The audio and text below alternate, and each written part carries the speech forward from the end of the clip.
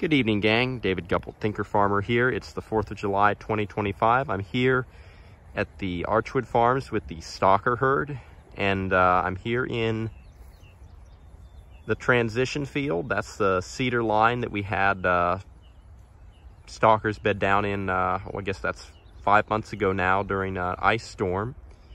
And we're using a portable tank right now. And just a little bit of context for the season. I want to go over some uh, some how-to stuff, kind of look at some R&D of uh, something my manager Todd Mead came up with for our tank. But uh, where we are in the season right now, it feels like spring flush has not ended. We had uh, close to 10 inches of rain in May, another mm, around 8 inches in June. So we've just had a ton of rain and rather than the forage drying out, we do have seed heads from early April, or rather I say early April, early spring because it was really dry early spring. And so the cool season seeded out, but we went around grazing the farm. And if you look down into the canopy now, we have a, a lot of cool seasons that are still mostly green. Um, a lot of clover, uh, across the farm. And also, uh, I was looking at a patch of warm seasons. Let's see, that was right over here. We've also got a lot of Johnson grass over the farm. In some other fields, they are heavily dominated with, uh, or at least visually, they're dominated with Johnson grass. Um, so right now we're, we're grazing at a pretty high, uh, pretty high height. We're uh, doing a low utilization I'm trying to take the top energy because the forage is pretty washy. And uh, we weaned this past week, so we'll have 70 to 80 uh, steers coming. So at that point, and probably reality is, we haven't had rain the last few days, which has been really nice. We need some sunshine to grow, uh, really to, to grow sugar in our plants, because right now they're mostly water and, uh, but anyway, we're probably going to start utilizing more forage as, uh, as now really we're into summer. And, uh, anyway, that's, that's kind of where we are utilization wise. We're doing daily moves with our stocker herd. They're looking really good. Um, probably look at them shortly. I wanted to take a few minutes in this video and just discuss some R&D. Um, one of the things, uh, we love to use these portable uh, stock tanks to move fertility around on the farm. Our uh, water point, it's going to be hard to see, but essentially on the, yeah, I'm going to step over the line. Our water point is about 50, no, more than 50. I guess it's 100 foot, 100 feet that direction.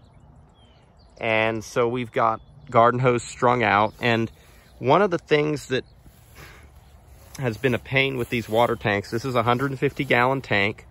We're watering, uh, I mean, in animal units, I forget what our animal units are. I've been I've been just eyeballing things in the field in terms of the utilizations I, I want. We've got mm, 110-ish animal units, um, 125. They're, the stockers right now are, uh, they're a pretty good size stocker. Um, some of them are nine weights, visually looking at them. I think the majority are probably, probably seven weights. So anyway, we've got, uh, yeah, prob probably a little, little over 100 animal units right now. And uh, I go ahead, of course, and run a poly wire over the top, limit them so that really only a few head can drink at a time because of our uh, recharge rate. Um, is, I mean, pressure-wise, we've probably got 30, 35 PSI, so not really high. And the, uh, pardon me, gang, uh, I'm getting over some sinus stuff. So the, uh, normally I've been uh, just packing this tank around on the four-wheeler, which can be a bit of a pain. And my manager, uh, Todd Mead, uh, went ahead and said, let's see what we can do to make this easier. So we took an old gate. Um, Jeff, kind of our shop uh, welder metal guy, he went ahead and uh, cut it to fit for the tank. And then he went ahead and welded on the side of the tank. He went ahead and welded, uh, see if I can get in there in there where you can see. He went ahead and welded a couple of uh, chain pieces on either side to the gate. And then uh, went ahead and put in a, we went ahead and put in a ratchet strap, hooked it in on both ends, and then you cinch it up into a wooden board, which we actually had another piece that uh, we screwed underneath here so that when you cinch it up, it, it, it uh, essentially locks the tank in so that an animal can't put its uh, neck down and push on the tank. It essentially becomes a brace Note, note the indents here. That's so that the strap can't really slide. We cut, cut indents in our wooden board. We've been using this tank now more than a month and it's, it's, it's really nice to drag around in the field. Um, it definitely makes a big difference in terms of uh, the, the tank won't give. And even with the, uh, like I said, we had two boards here another board underneath that was screwed to the top one to lock it in. That board on the bottom actually fell out today. And uh, I've, we've had so many things going on on the farm. I really have not had the time between weaning, hay hauling, um, storing for winter and other things. I really haven't had the time to be fixing it, but it's functioning just the same. So I don't know if I even need to get another board. And uh, essentially that strap locks the tank in place. And then, uh, let me step over this hot line. Our wires have been seven, 8,000 volts, so I really don't want to get zapped. On the other side, we have a. Uh, I love how resourceful our welder Jeff is. He didn't even want to waste a hook. He took an old piece of rebar and he, uh, let's see, that's about an eight inch piece. He bent it in the center and then welded it. And you can slip a chain in there. You don't even really need a hook on the chain. The chain will actually pull in and lock in that tip. And then I just hook it up to a four wheeler short so that when you pull, it actually picks up the front end to go over rocks and little divots. And I can drag this around the field instead of packing it around. Really, really simple. Um, and uh, yeah, the stockers enjoy it, works great. Um, anyway, so that, that probably was kind of the thing I wanted to show in this video. Little bitty things like that, R&D, they don't, uh, I don't know that they save you tons of time, but they make your life so much easier. And, uh, man, there, there, there's enough in life that is hard. Um, it really, I, I think making things easier, making it where somebody else can do the job. You know, I can, I'm, I'm a decent sized guy. I can pack around a, a pretty, uh, hefty tank on the back of our really nice four wheelers, but you ask somebody else to do that, yeah, that's just making life harder for them. Finding ways to make life easier is just a really good thing. So anyway, uh, back to grazing, back to the stocker cattle. I uh, actually raced the cattle ahead. That's a nice flock of birds there. They've been doing our fly control for the cattle.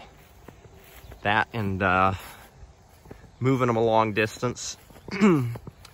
moving, moving the cattle a, a long distance, which to me means at least more than 200 yards, if not three or 400. Keeping them from their uh, manure piles so that when the flies do hatch out, they can't find their host or the, the cattle. And uh, yeah, that stocker's just looking at me. He thinks I'm a nut. I'm just talking about grass, buddy. Anyway, um, right now for beginning of July, the fly pressure is not that great, and I'm attributing it to our our feathered friends, the birds, and then also to just the animals being in pretty good condition, so they're healthy. And they're, they're most of them are slicked off, some of them are not.